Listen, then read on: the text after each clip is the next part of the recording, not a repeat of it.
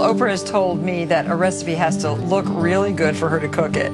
And uh, she does peruse a lot of magazines looking for good ideas for her kitchen. No, I mostly peruse yours. Oh, okay. Okay. oh, good. I'm happy to hear that. Yeah. And uh, this uh, recipe for tomato cobbler looked really good to her, and she's good. Look how fast you did that. That's pretty good. Oh my gosh, I better, I Yeah, better this was catch in the. March edition for those of you who collect them like I do. You collect your living magazines. Yes, good. Now the the crust is very easy. It's all made in the uh, bowl of a, uh food processor. One and a quarter cups of flour, a half a teaspoon of salt, a half a teaspoon of sugar, and the Gruyere cheese. Just a half a cup? Mm. Yes, a half a cup. So this this is what makes it so great, I think, because Oh. it's melted I into know, the crust. Oh, Ah! it's so good. And one half a cup of unsalted butter, and that is cold because it's sort of like making a pie crust, although we're making a cobbler crust. Oh, cobbler crust. cobbler crust. So we're just going to pulse that a little bit. It's very easy to do. I ran into your trainer in the bathroom. She said we're going to have to run extra hard tomorrow. I know. that half a cup she of tells butter. me that every single day. And to this, we're going to add water just until it holds together.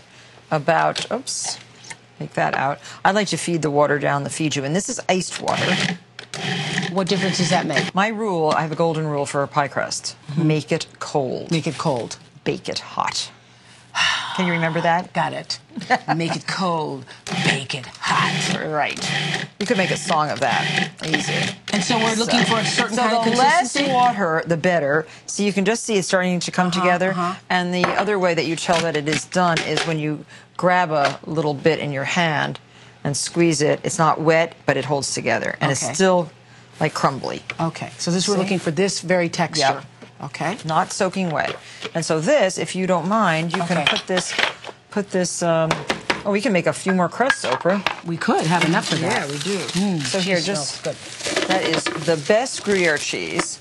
And if you just wrap this and wrap this in a flat round, Okay. not a ball, because a ball has to chill, and you want it flat so you can just roll it out easily. So- be careful of the blade; it's a brand new. So what am I going to do? Press it out here? Yeah, take that all out. Okay. You can use a rubber scraper if you want. All right. Once you get it, and and then I'll show you a little trick.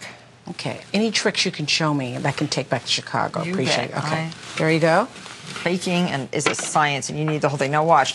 Instead of using your hands you just take your plastic wrap like this Oh. and draw it up. And so you have made absolutely no mess whatsoever. You see how nice? Oh, very nice. yeah, it is. It really works. And Do you, just come up with these things? well you after you bake about 45,000 pies, which I have in my life. And there, you have a perfect flat round, and that goes into the refrigerator and is chilled. right. Have to chill it, give the flour, the gluten in the flour time to rest. and that chills for what, an hour? About, according to this yeah, about. And you could make this today and make it tomorrow. All right.